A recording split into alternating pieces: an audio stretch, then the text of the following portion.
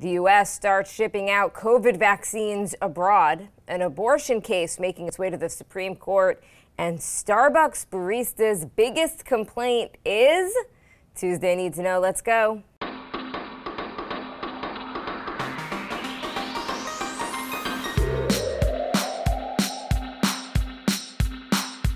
Good morning. This is Cheddar's Need to Know podcast for Tuesday, May 18th. I am Jill Wagner with Carlo Versano. Hi, Carlo. Good morrow, Jill. How are you on this beautiful spring Tuesday? Uh, I'm okay. How's it going? It's going. I got my uh, my Tdap shot yesterday. Uh, did you get one of those before you were pregnant? I don't know what it is. Um, it's a vaccine for something that you're supposed to get, I guess, when you have a baby. This actually makes me feel look so stupid because I literally got a vaccine of something that I have no idea what it actually is. um, yeah, I'm basically I've gotten I've gotten more vaccines in the last like few weeks than I think I have probably in the last 35 years. I'm just like walking into CVS, like, give me what you got. Shingles. What do you have back there? Measles, mumps, tetanus. Um, I don't know if I did. I think I probably they test you for all of it um, yeah, when you're pregnant. Right. Okay, speaking of vaccines, President Biden says the government will be donating 20 million doses of the Pfizer, Moderna, and J&J shots. It's the first time the U.S. has dipped into its own approved vaccine su- supply to send abroad. This as COVID cases have declined in all 50 states for the first time since the pandemic started. The fall off is particularly notable here in the Northeast. New York lifting some mask mandates uh, effective tomorrow. New Jersey is mandating that students return to classrooms in the fall. The um, the vaccine diplomacy here, that's a big deal, I think. Uh, hopefully, it's the start of an even bigger effort to really put a put an end to this this thing globally. You know, it's in our interest, Jill. You and I have have been talking about this for months now, long before I think a lot of other uh, media outlets really got religion on this issue about sort of vaccine diplomacy. Um, it's you know it's in our interest to protect these poorer nations with our vaccines, um, not just be, for sort of like the selfish soft diplomacy reasons, but just because our vaccines are the gold standard. They're the best. They really are. I mean, if you look. Um, here's a little case study. Uh, if you look at Seychelles, right, that's the uh, our island chain in the Indian Ocean. Uh, they're the mo- technically speaking, they're the most vaccinated country on Earth, but they're having this really pretty notable new surge in cases now. 30% of people infected on that island uh, were given two doses of the Sinopharm vaccine, which is one of the Chinese vaccines that is not approved uh, here. Um, a similar trend happening in the country of Bahrain. Uh, in the uh, Arab world, they also use the Sinopharm vaccine. This is just to say that you know that vaccine, I'm sure, is better than nothing, but it is not, you know, as effective as a two-dose Pfizer regimen, for instance. Um, yeah, that's very interesting. I hadn't I hadn't heard that, Carlo. Yep. Um, good to good Good to know that ours are working, um, but that's kind of scary, right. especially because we know that much of the world isn't going to be vaccinated with our with our vaccines. Yeah, 20 million is sort of a drop in the bucket, right? I mean, it's something. Um, one before we go, just just uh, one other before we move on. Our national positivity rate we're at 1.9 percent, so we're really starting to see this this thing fall off here. Um, the New York subway system back open 24/7. That's no big deal if you don't live here, but if you do live here, that is a huge deal. New York City cannot come back until the subway comes back. Um, but I did a little test yesterday. I wanted to mention. I uh, on my walk, I went into the local Starbucks over here, no mask. No, I just did not even on not even on my chin. I took it off, put it in my pocket. Um, I felt Jill like you know that dream sometimes you have where you're like naked in your high school? Like that's the that's how i felt in there. It was really notable. I was the only person not wearing a mask. Um, i definitely got a couple looks. I don't think the news that they had dropped their mask mandate sort of like made it to most people. Um, so i think it's definitely going to take a little bit. I think it's definitely going to take a little while for for us to sort of you know, get I don't know what get back to not wearing masks in public. Well, you you I think that um, technically the local guidelines are still they they they outweigh the the CDC oh, did I break the rules? or Starbucks. So in New York, it doesn't go effect until tomorrow. So technically, oh, so I think I, you broke So I rules. was breaking the rules. Oh, okay. Well, that would explain some of the looks I got. Um, but you know, so. the grocery store workers, their union has come out to say that they're they're against lifting the mask mandates, and I understand that because a lot of people aren't. We know a lot of people aren't vaccinated, and if you're if you go to a supermarket, I, I guarantee you, um, if they lift when they lift the mask mandate, no one's going to be wearing a mask. Like the, the people who aren't vaccinated aren't going to be like, you know what? Okay, I'm going to wear. Th-. I mean, maybe they will. If you're unvaccinated right. and you're still going to wear a mask, I'd love to tell us about it. But it's mm-hmm. I would guarantee you, just no one's. You're not going to see any anyone in a mask. But the the CDC has said, if you're vaccinated, you're fine. So don't worry about it. Yeah. Well, I think that's sort of the, the, the, main point, and that was sort of the point of my, my Starbucks, my illegal Starbucks test yesterday, um, which is just to you know to, to get into this mindset that like if you're vaccinated, it doesn't really matter if everyone around you isn't vaccinated, right? That's the point, sort of the point of the vaccines. I know it's sort of like, you know, I know there's there's there's some risk of breakthrough cases, but more or less you're good. So but look, I'm not going to. I'm not. I'm not. I don't have no desire to like cast aspersions on people who want to wear masks for the rest of their lives. For all I care, it doesn't matter to me. Um, do whatever you know. Do whatever makes you feel comfortable. I just thought it was sort of interesting to the the feeling that I got of like that real sort of sense of vulnerability, not wearing a mask inside a store. Such a rebel, Carlo. Yeah, I love it. Um, all right, President Biden now expressing support for a ceasefire between Israel and Hamas for the first time, while also stressing Israel's right to self defense. Biden discussed the ceasefire with Israeli Prime Minister Benjamin Netanyahu after the UN Security Council met for the first time but made no progress on ending the conflict. General Mark Milley, the top U.S. military commander, says he is worried that the fighting is risking a broader destabilization of the region if it continues for a lot longer. Meanwhile, Israel and Hamas continue to trade fire uh, with no signs of stopping. Tom Tom Friedman in the uh, New York Times, he wrote a column. I think it was yesterday. It may have been Sunday, but I think it was yesterday. Uh, that I I thought was pretty good. You know, I have a very complicated relationship with Thomas Friedman. Like he's been writing sort of the same two or three columns since I started. a relationship usually implies yes, that right. the other person's aware of Fair the relationship, point. but Fair point. all good. Uh, fair point. Uh, yes, friend of the pod, uh, Thomas Friedman. No, he's been writing like the same two columns, you know, since I started reading him back in high school. But I always read him on Israel. I think that he always has really interesting insights on um, the Israeli conflict. Uh, so this column that um, he wrote yesterday or the day before was talking about how Israel was really on the precipice of forming its first national unity government right before this spate of violence just a couple weeks ago, which would have included Jews and Arab Muslims in parliament for the first time. Um, it's a government that would have included everything from far right pro settler Zionists, progressive leftists, pro Islamist Arabs, all of them sort of working together in this unity coalition, right? So he was sort of making a ham handed comparison to the January 6th uh, Capitol riot that I didn't quite understand.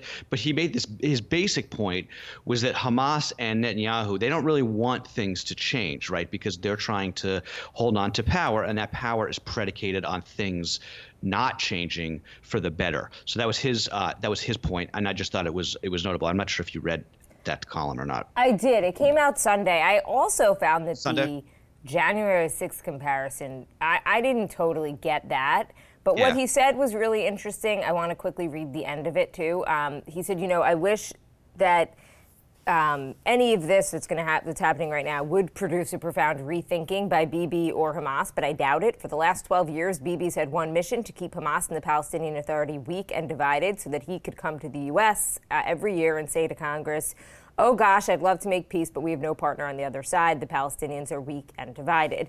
And for 12 years, Hamas has had one mission to keep Netanyahu in power so Hamas and its backers in Iran could tell their naive supporters in Europe or on liberal college campuses, in the media, and in the Democratic Party that the problem is not Hamas, an Islamo fascist organization without a shred of democratic fiber that is dedicated to destroying the Jewish state and imposing a Tehran like Islamic regime in Palestine but rather that terrible pro settler Netanyahu government in Israel. Bibi and Hamas, they need each other. They understand each other. Rinse and repeat, rinse and repeat, rinse and repeat.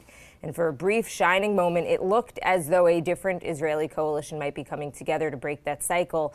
It certainly would not have made peace overnight, but it might have at least begun a different dialogue, a real dialogue among all sides. Um, really yeah. fascinating take on it. Uh, one quick thing that Atlantic piece that I talked about yesterday was written by the former AP reporter and editor in mm-hmm. Jerusalem who talked about the inherent Israel, uh, anti Israel bias in the reporting from the region that he right. had witnessed. Uh, I just want to mention that was actually from a few years ago, 2014.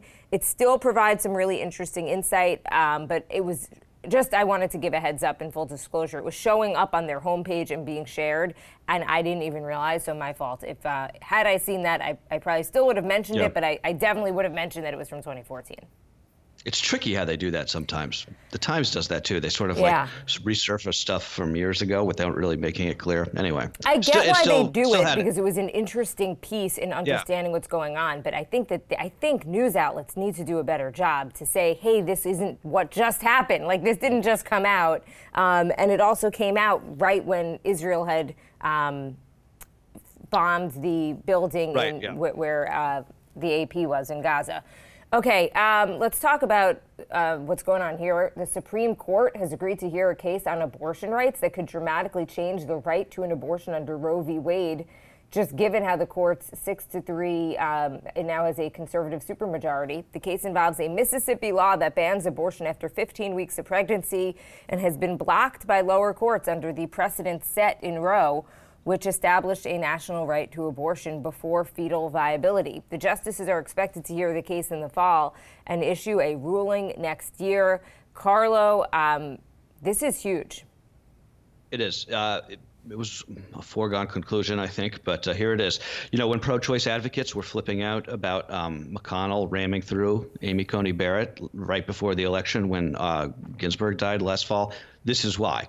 Um, this is probably the beginning of the end of Roe of uh, the precedent set in Roe. Uh, because think about it, even if Chief Justice Roberts acts as the swing justice here, which he might, it would still go 5 4, um, barring something crazy happening, which is possible, right? You never really know until it happens.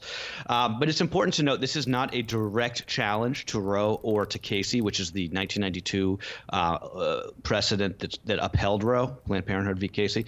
Um, but it's sort of the opening salvo in what's going to be a sustained attempt by the right to make abortion a states' rights issue, uh, which is going to effectively make it illegal in at least 20 states immediately. Um, just because I think 20 states have trigger laws on the books where if uh, abortion is struck down by the Supreme Court, it automatically becomes illegal in those states, including Mississippi, where this uh, case is coming from. Um, so that's going to happen, I think, and it's going to sort of once more, it's going to be one of these other things that just turns us into sort of two different countries, um, which is one of the things I really worry about long term about the United States. Uh, but also, I just want to make this one point. The, this is the latest data I could find. It's from 2014, so it's a little bit outdated. 75 percent of women who get abortions in America live on $23,000 or less a year. 60% of them are women of color, and 20% of them have to travel more than 50 miles for care. This is one of those, eh, eh, uh, whatever you think about abortion, this is sort of one of those issues that, be, that has become sort of like a, a, a cause celeb of like, the liberals out here in Brooklyn and sort of like you know rich white women, but it's really eh, you know this is about it's a racial justice issue in a lot of ways.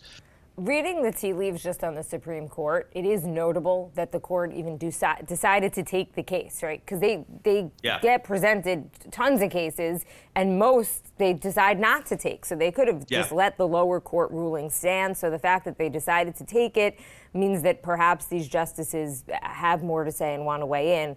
The thinking, though, um, is that maybe Brett Kavanaugh, um, surprisingly, mm-hmm. could join with John Roberts as this sort of block of swing votes, which has happened with some other decisions. Like Brett Kavanaugh is turning in, and John Roberts are turning into those, both of them, swing votes.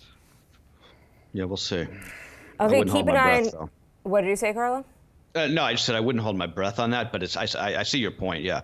Uh, we'll see. Keep an eye uh, on your bank account starting July 15th. That is when the IRS will be distributing the first expanded child benefits passed as part of President Biden's stimulus package to about 39 million American families. The direct cash payments, $300 per child under six and 250 per child age 6 to 17 for qualifying families will come via direct deposit uh, on or around the 15th of each month through the end of the year.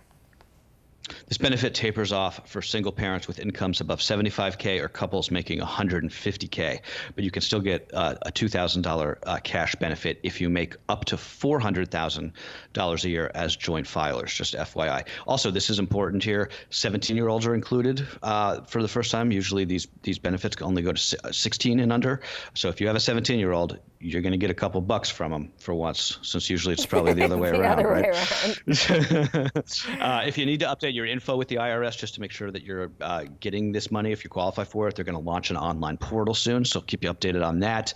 Democrats have said that they want to make this cash payment uh, permanent.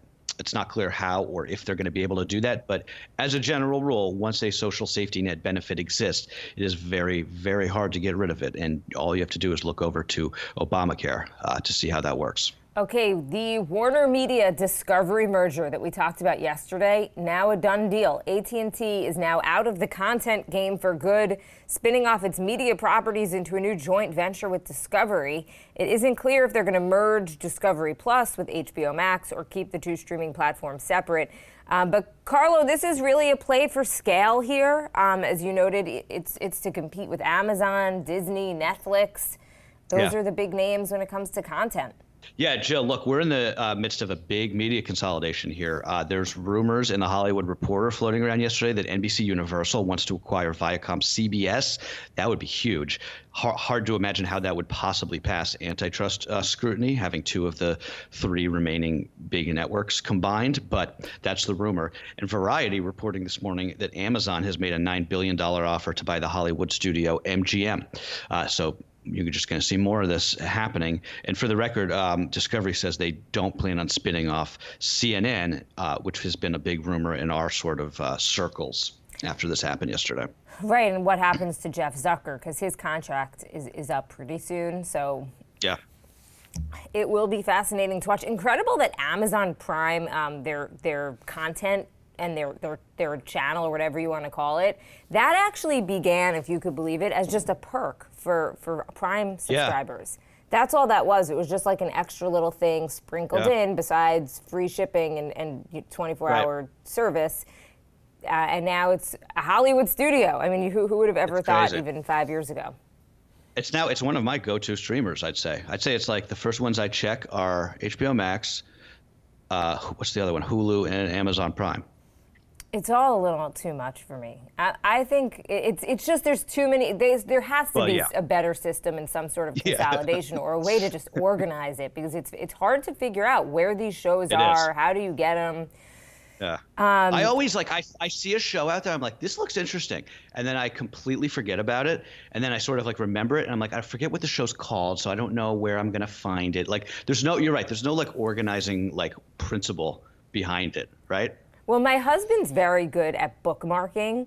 He he yeah. thrives in this type of environment, and he's very good at taking these shows, putting them into different folders, and like out, whenever oh, I say I oh, don't know what to really? watch, he's like, "I made you a folder. Go watch what's in the folder." Oh wow, we got to get Mike on here and have yeah. him do a little tutorial for us. Um, Apple, meanwhile, bringing high fidelity, lossless audio to Apple Music's entire catalog starting next month at no additional cost for subscribers. The premium audio allows you to hear music in a wider dynamic range, basically as it was intended to be heard in the studio by the artist. Lossless audio is noticeable if you are a true audiophile listening via high quality wired headphones in a quiet place. But for uh, the way most of us listen to music, it will likely be hard to tell the difference. Yeah, it is really hard to tell the difference. It's especially true because Apple even admitted that AirPods, AirPods Pro, and AirPods Max, they can't even support this technology because of the Bluetooth codecs that they use, which I thought was really interesting because it's like I'm pretty sure that's how most people listen to music now is via their um, their headphones. Uh, Spotify, by the way, also prepping a hi-fi format to debut later this year. Um, which is just a great reason for us to also rem- remind people that I'm still working on our Spotify summer playlist that will be out before Memorial Day, I promise you. And as I was working on it the other day, have you you use Spotify, right? Mm-hmm. They've redesigned the entire app, and it's so confusing. I'm it's glad like, you mentioned this. Have we discussed this? No, it's terrible. Oh, I'm so God. glad you mentioned it. It is just a classic example of of an over-engineered like It was totally fine the way it was. I knew where everything was. They read, they do these things, and it, I don't understand it for the life of me. I feel like Apple is the only company that does a good job of like read like making incremental uh, advancements in software that actually like work intuitively. Everybody else does it, and you're just like, oh, okay, well, I guess I just never find that again, right? You know, I'm glad that you mentioned that about Spotify because I was I had that in my notes to mention as well.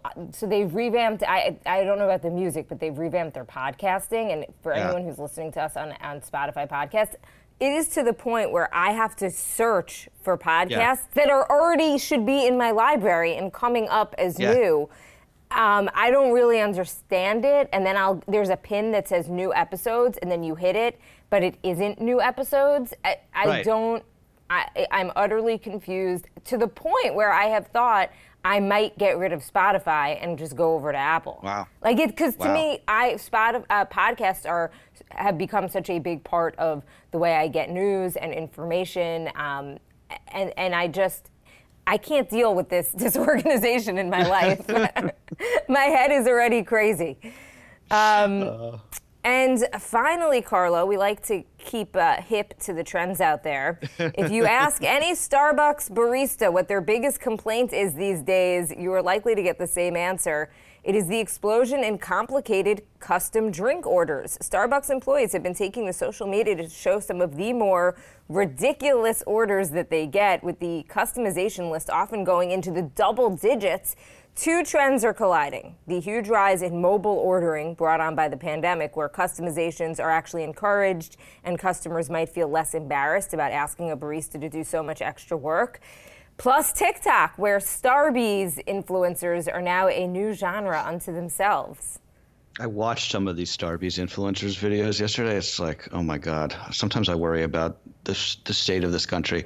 Um, but uh, this is so. This was a story in BuzzFeed over the weekend that I thought. But every once in a while, BuzzFeed just really like does a great piece of something that like on something that like you never would have thought about but totally makes sense and the mobile ordering thing really makes sense right because like you would never i feel like i would never have the gall to like walk into a starbucks and ask them for like a venti cappuccino or, or, with you know 20 different things but if you're just doing it on the app you're like boom boom boom boom okay this is what i want although you and have the, the gall issue. carlo to walk into a starbucks without, without, a mask, mask before yeah, right. we're doing that right. in new york yeah you're right. So who am I to talk?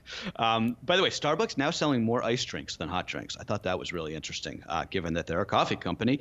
Um, but as a disgraced former barista, I can tell you that uh, custom drink orders are truly the worst. It is like doing, you feel like you're doing like alchemy and like Greco Roman Egypt or something. And it's, I don't know, maybe I'm just not good enough at it, but uh, I hated when people would come in and be like, okay, I need a cappuccino, but I need it uh, skim, half calf, and with uh, cinnamon, cinnamon and blah, blah, blah. So I could, t- so I'm not a Starbucks drinker, but I could take two sides of this argument. If you are going to pay what's probably like seven dollars for a coffee, yeah, you should you be want, able right? to get it how you want it, and that's the whole point that they're even going in and not making the coffee at home. I, w- I would guess.